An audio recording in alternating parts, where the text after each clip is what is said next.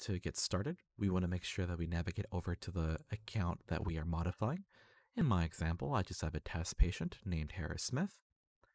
And what I want to do for this specific patient is edit the insurance payment that has been attached. If I want to go ahead and modify the payment right now by double clicking into the check and deleting it, it will not allow me to do so because this payment is currently attached to a deposit. So what we're going to go ahead and do is first add a note to the account to mention that we're going to go ahead and modify or correct this payment. And there's two different ways you can do so. Number one, you can click on Commlog on the top left of the software, and then add your note here.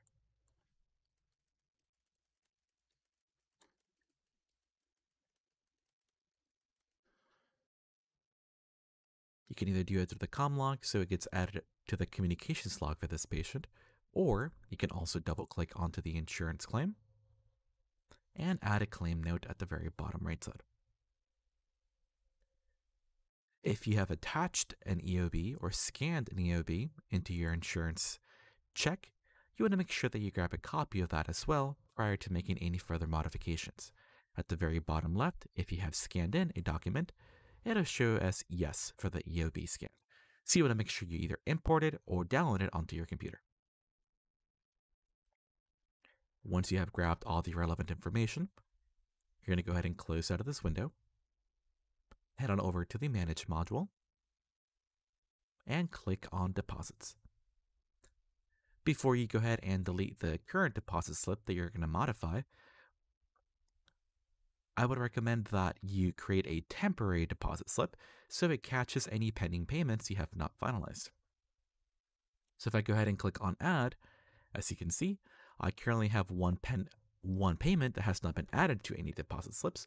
So to make sure that this does not get added to the uh, one that I'm going to modify, I will go ahead and create a temporary one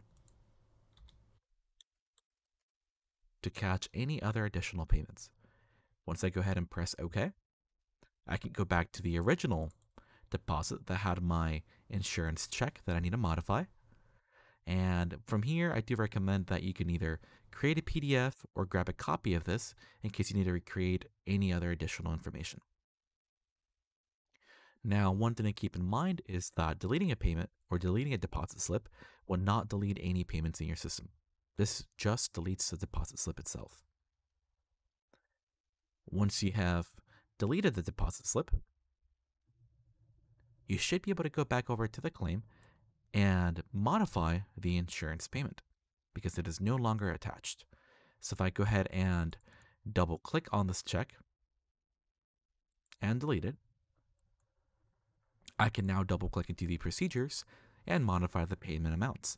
For example, for this prophy, I want to modify it from $100 to 110. If I double click on the procedure, at the very bottom right side, I can go ahead and swap it back out to $110. Once I verify that all the insurance information is set up correctly, I can click on this claim only and even add another additional note onto this check.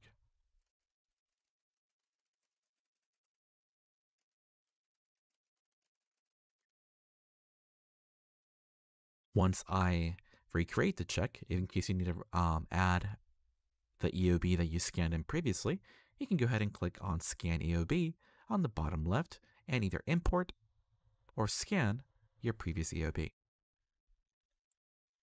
Once you've finalized the payment and you corrected it to your liking, you can head on back over to the Manage module,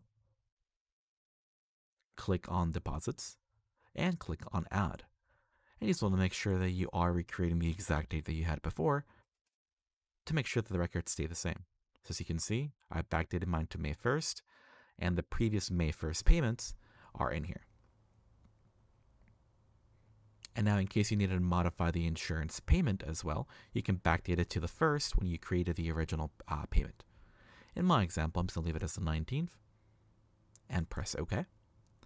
And then any temporary payments that you had, you can go back in there and delete this deposit slip. So in case you need to continue adding things, you definitely can without any additional confusion. Once you close out of here, you have corrected the insurance payment and you should be all set up and good to go. Thank you.